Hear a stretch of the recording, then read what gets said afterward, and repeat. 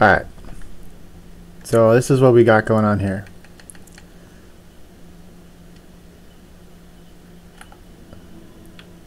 Literally the most broken item in the game. Because it's bugged. There's no way this item, this, this grenade is this strong. You could pretty much one-shot anointed enemies with it. Other minor bosses you could one-shot with it. It's pretty ridiculous.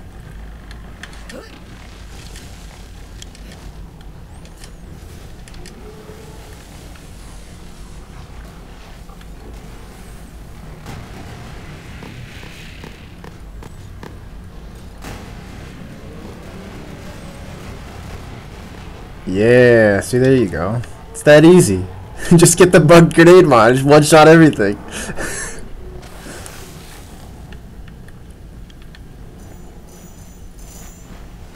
really? No legendaries. Alright.